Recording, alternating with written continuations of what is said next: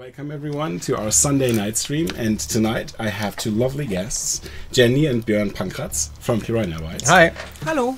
Um, Björn is one of the very few people on this planet, in this universe and beyond, Oh, who have actually collaborated or worked on all the Piranha Bytes games, Yeah. from Gothic 1 to Elex. So uh, it's going to be a time travel um, like along the project that Piranha Bytes has released. And I have the official permission to not just talk about the projects, but also talk a little bit private, which I look very much forward to. And zwar, are you ready to make a real Gothic 4? Please, greetings from Poland. This is one of the probably most frequently reoccurring questions ever, right? Yeah. um, would, you- would you like to do a new Gothic game? Like if we talk Yes, privately? of course. Uh, no, there's a reason why I'm wearing this uh, Mhm. sleeper uh, amulet here. And uh, yes, of course, we love uh, fantasy games. We love uh, the Gothic universe Mhm. and so on. Uh, yeah, but uh, yeah, there are no plans for uh, another title in the Gothic universe Mhm. Okay. yet. All right. We have Uh, too much ideas and uh, less time. Yeah, I see. Yeah, vorhin. Um, who wrote the Chromanin series in Gothic 1 and what are the meaning of them? Uh, Chromanian, that's that was myself. This was Mm. that was uh, one of the first uh, things I made uh, for the story department, uh, as I can say so. And Chromanian is, uh, yeah, is such a thing. Uh, wie nennt man uh, Schnitzeljagd of Mhm. English? Treasure Hunt? Treasure hunt or something. Yeah, yeah. You have to find uh, many uh, books there, and uh, it was the easiest way to implement uh, some quest without dialogues because uh, there there uh, uh, I, I, I knew uh, that there would be no. Um, uh, additional uh, recordings, voice Mhm. recordings, and so uh, I, I th- thought about uh, making quests anyway. Mhm. Yeah, Mhm. and so I, I thought, okay, uh, I said, okay, a text was okay, written Mhm. text, and so I invented this uh, Chromani series, and so it was, uh, yeah, some kind of uh, riddles, yeah,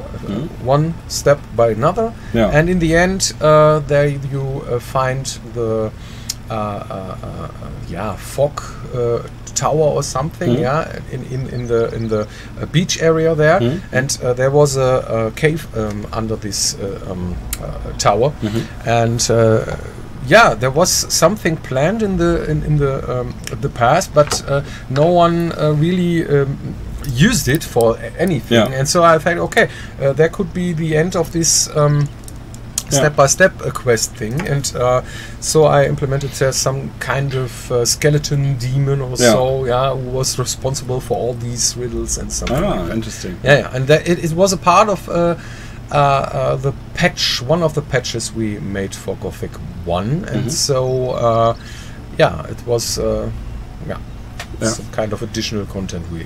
Do you remember if that tower was the one that initially should have a gong on the top? Like a very mighty gong? Or May, maybe because I- there was a concept art of something Ah, like that okay. and it never showed up in the Yeah, game. yeah, yeah, ne? and Yeah. and this uh, that's the, maybe the reason why this uh, tower never uh, uh, was a Was part used. of, of anything of, of the main story or something. Yeah, yeah. Interesting. Yeah. Okay. So, Tazuki Rex asked why in the Gothic series and other Piranha Bytes games the women are of very less uh, are very less aspect.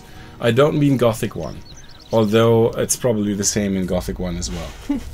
Björn, would you like to answer this question? Yes, of course. Uh, yeah, it's a matter of uh, of uh, um, of asset uh, production, yeah, in the first place, because uh, uh, we uh, have a small team, and we thought about uh, uh, bringing in all the guilds and and uh, different. Um, colored people and stuff like that and so we decided to to uh, produce um, uh, human males Mhm. only Mhm. in the first place Mhm. and uh, add some um, uh, women's afterwards. yeah. Mhm.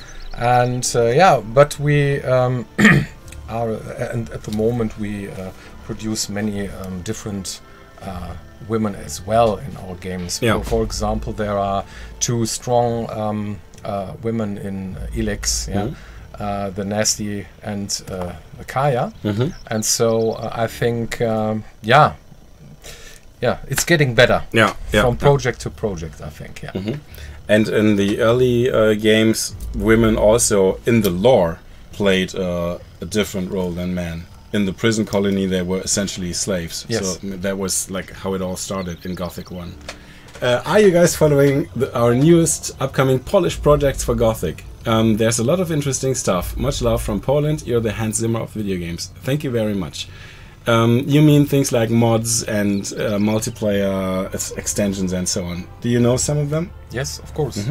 Yeah, as often as we can, we uh, have a look at uh, some projects and mods. And um, many people also uh, send us um, emails and uh, um, stuff that we can have a look Yeah. to. Yeah. And uh, yeah, so we uh, see a lot things. Okay. And sometimes, um, if there's something cool, we also um, pick them up and show them um, different uh, social media Mhm. channels. Okay, that's lovely. Um, is Risen a part of the Gothic universe? The end of Risen 1 and the end of Gothic 3 seem almost the same.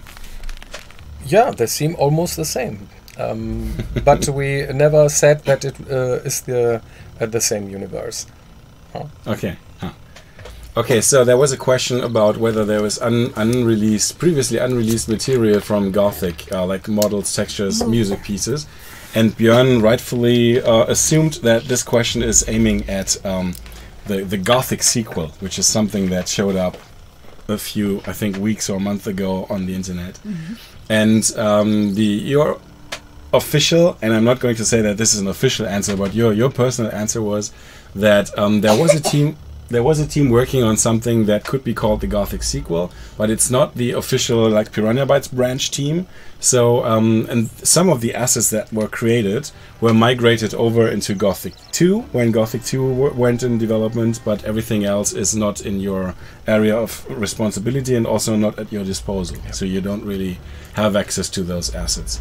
Although uh, there are some of them uh, on the internet, and some mod teams are obviously working with them. You yourself never got your hands on them. Um, so, Victor Wayne. I'm sorry. Hello, Kai, Björn, and Jenny. Björn and Jenny, first of all, I want to say thank you for Elex. I liked the game and I enjoyed spending time exploring this world. Could you add a little hardcore to Elex 2 in the form of not making the quests on the map?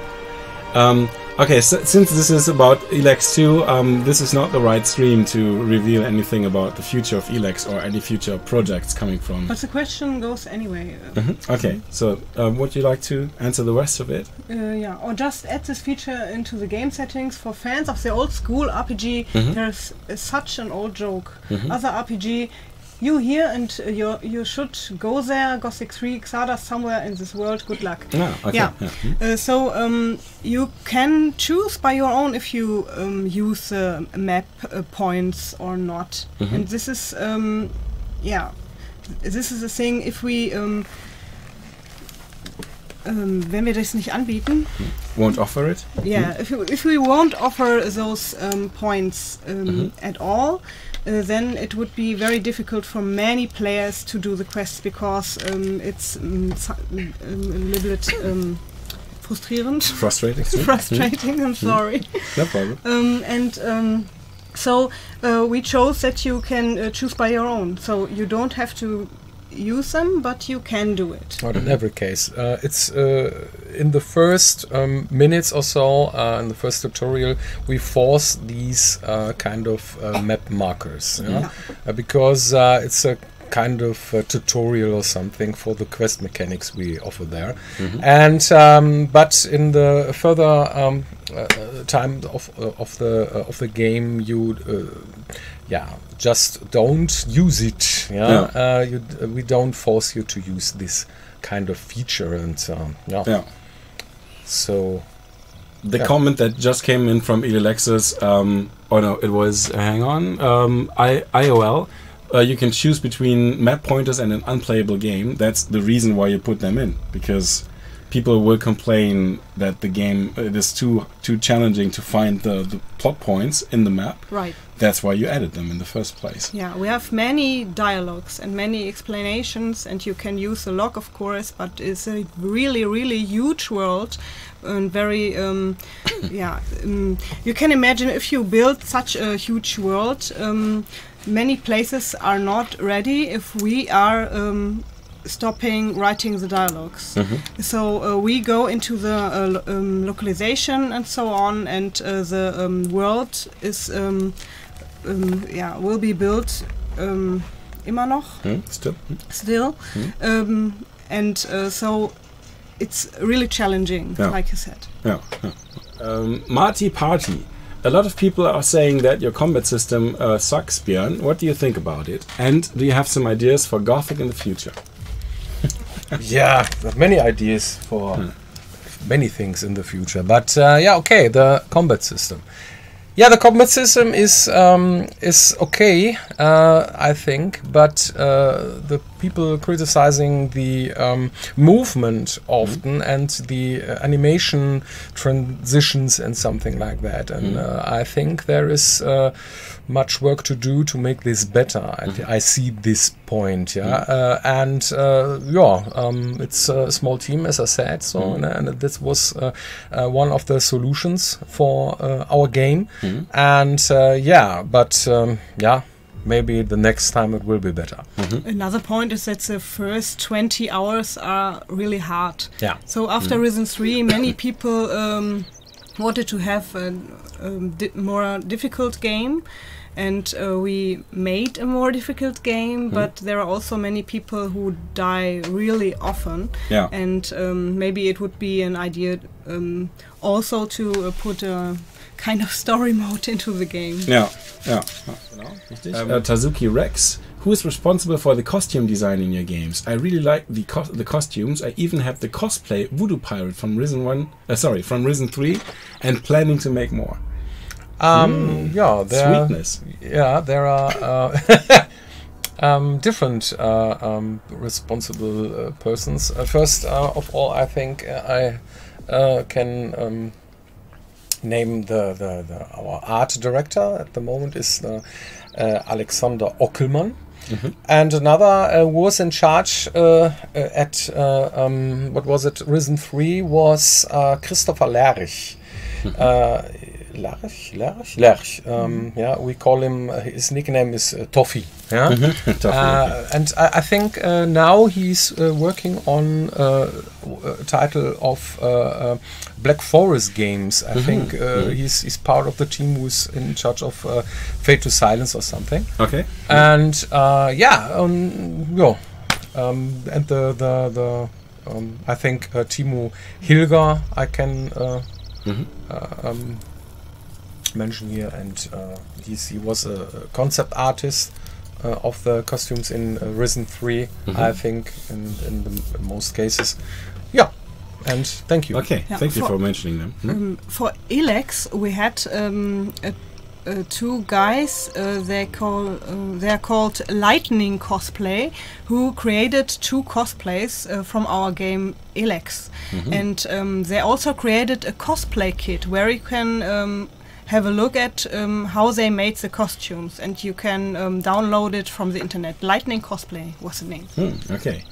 And Tazuki Rex, if you want, uh, you can post a link to a photo from your Risen 3 cosplay uh, to the Discord server or maybe here in chat uh, if Mike can give you uh, permission. And uh, we would love to see it. Thank you. And Iceblock, um, danke sehr für deine Bits. Lefty sent me. I've brought you some water. Lefty sent me, I've brought you some water. Which game is that? Gothic 1? Lefty, boah. Hmm. I think it was Gothic 1, yeah. Okay, Iceblock, you gotta you gotta help us. Which game was that? Um, obviously not Elex, otherwise you would No. have known. Okay. Um, So, originals, uh, guys. How long did it take you to make Gothic One, and how many people were working on it? It, it was a, a, a thrill ride. We started out with four founders plus three external coders, the mad scientists, Bert, uh, Dieter, and uh, Ulf. Ulf. Genau. Um, uh, we had two external graphics people, uh, Horst and Mario, and uh, me for audio. And then, in the course of those four years of development, I think Yeah, we scaled up to 40 four and a people. half or something. Or four and a yeah. half. Yeah, I think so, yeah. I think the maximum was was 40 people. And then near the end of Gothic 1, it downscaled again to around 15 to 20 people. Mm-hmm. So we had everything from 4 to 4D.